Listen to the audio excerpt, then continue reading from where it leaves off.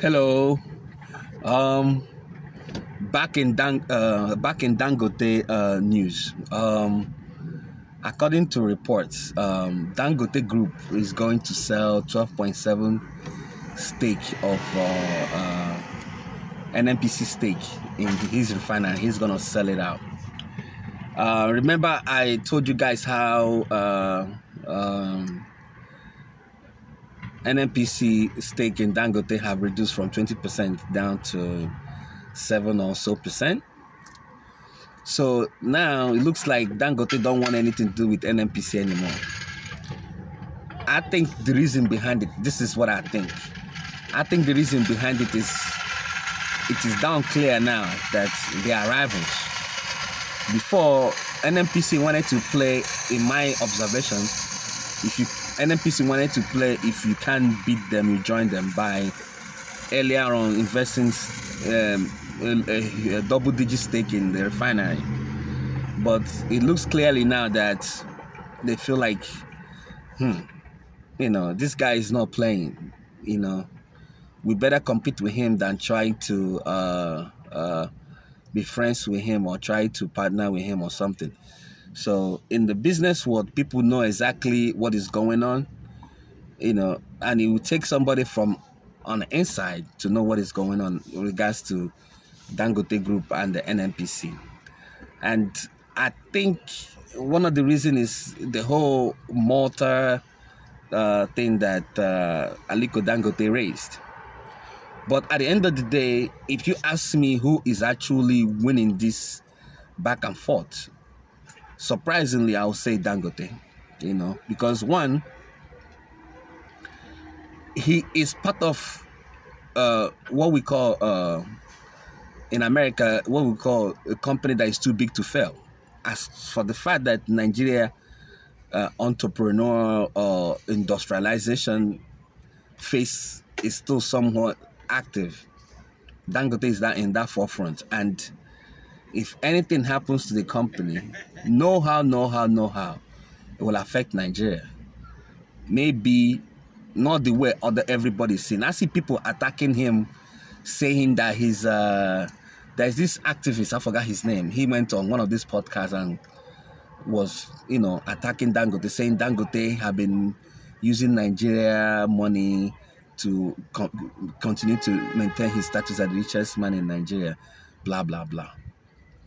One thing about is one thing about being a capitalist. I, I've said this before, and I'll repeat it again on this channel. One thing about being capitalist is capitalist is seeing an opportunity and taking it. He's not running a charity organization. There are people that are go that he is just one mistake away. Aliko Dangote is just one mistake away for his company to crumble. A lot of people think that because he's where he is now, he's comfortable, he doesn't have to do much. He is even working harder than he's supposed to work ever. So, all these years, opportunity comes, he takes it. That's what capitalist capitalist uh, uh, mindset is. If he doesn't do it, somebody will knock him off.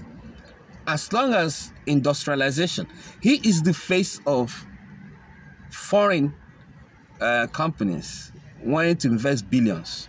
There is no way they will not consult Dangote or somewhere, somehow, see his movement and say, okay, if this guy can take this risk and do this A, B, C, and D in Nigeria, we can do it. All we need to do is find a way to know what, how he does it.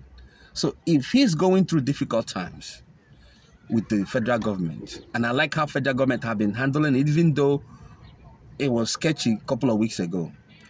If if it goes bad, potential outside investors, which Nigeria needs so badly, Nigeria, for a country of this of that size, doesn't have people investing in Nigeria as they should. If you want to see countries investing in co- overseas countries, investing in African countries, look at South Africa look at uh, uh, uh, um, Egypt and to an extent Kenya. These people are investing money knowing that those places they're not going to go through a lot. I don't see that in Nigeria more often because of foreigners go through shit to invest in Nigeria. Despite how risky it is to invest in Nigeria, let's be honest, it's very risky, especially now. What needs to be done is to set a tone that will make people say, okay, we can do this here. And if they see Dangote cr- crumbling, maybe another one or two companies, they'll fall back. You know, they'll probably go to another country. They might not have lesser, bigger markets or lesser profits, but stable. And they go there, and Nigeria will lose. So, federal government know all these things, and they are finding a way to make sure that Dangote is okay. Uh, make sure they are okay too. So, in in all, what Dangote is doing right now by selling this share is more of drawing the line. You guys are you, and we are we. Let's you know uh, uh, uh, compete, and it's a healthy thing. NNPC have declared they are publicly run company, but we know, you know, it's still state run, you know, but not in a bad way. I'm not putting in a bad way, but being realistic me, I don't think there is anything wrong in competition. Is Dangote is if Dangote is competitive, other energy sectors are competitive. What are we crying for? Everything is good. So, yeah, the news is Dangote is selling remaining 12.7 shares of uh, uh, uh, stake in his refinery. I think I don't. I probably I probably may do more research and do a video about who's buying it or something because I don't think there's any potential buyers yet. I don't know. Maybe I'm a, a little bit behind, but I'll catch up. But it's official. They are selling 12.7 stake, remaining stake, 12.7 uh, percent stake that NNPC have on their on their on their refinery. So, if you have anything to add to this, and as I always, I want this channel to be interactive you know, and some of you that have been interacting, talking, I appreciate you guys, man. Uh, it means a lot. And uh, once again, uh, thank you for the support. Subscribe, turn the notification button on, and then uh, let's continue to have discuss on different topics that uh, uh, we all can learn uh, one or thing, one or two from. All right, see you guys on the next one. Bye bye.